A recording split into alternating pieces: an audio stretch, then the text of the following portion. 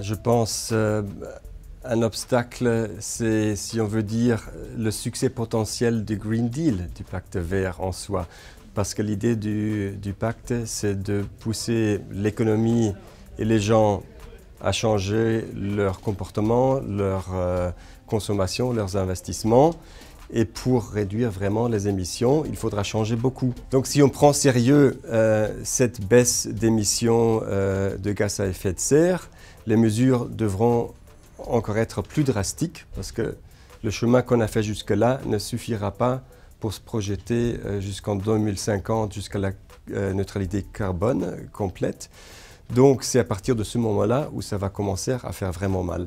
Et il y a l'enjeu social que les gens auront euh, difficulté à, confronter ces mesures via une hausse des prix d'énergie par exemple, via les coûts de rénovation de leur maison.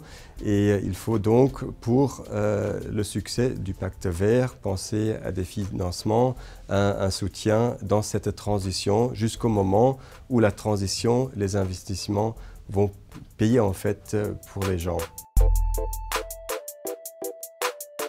Je viens de le dire, il y aura certainement un impact du Green Deal euh, au, plan social via une hausse des prix, mais aussi euh, sur les marchés de travail où il y a certainement des licenciements dans certains secteurs.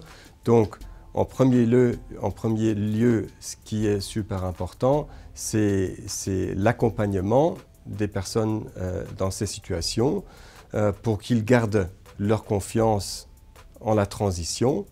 Et l'accompagnement ensuite peut venir via des aides administratives, euh, qui rassemble toutes les informations nécessaires. Ça peut être des subsides financiers euh, pour euh, soutenir les personnes, mais il faut aussi proposer, par exemple, des infrastructures qui permettent aux gens de pouvoir vraiment changer le mode de transport, par exemple, et une infrastructure sociale qui permet d'avoir des services tout proches pour réduire sa propre empreinte carbone, par exemple.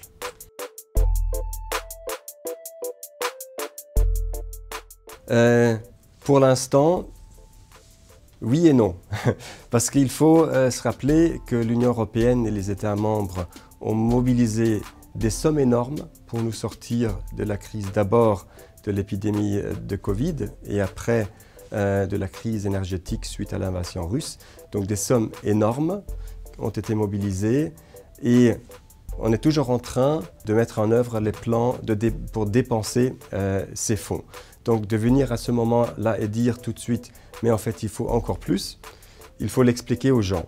Euh, c'est ça ce qu'il faut faire, parce que les fonds euh, qu'on a mis sur pied, qui vont aussi soutenir la transition énergétique et vers la neutralité de carbone, euh, la plupart des fonds se terminera en 2026. Donc il faut réfléchir à comment mettre sur pied un vrai budget européen avec des fonds spécifiques pour soutenir la transition, avec des, euh, revenus, des ressources propres européennes via des impôts ou les entrées euh, de la taxe carbone, et pour pouvoir, euh, du niveau européen, égaliser les différentes capacités d'investissement dans les pays membres de l'Union européenne.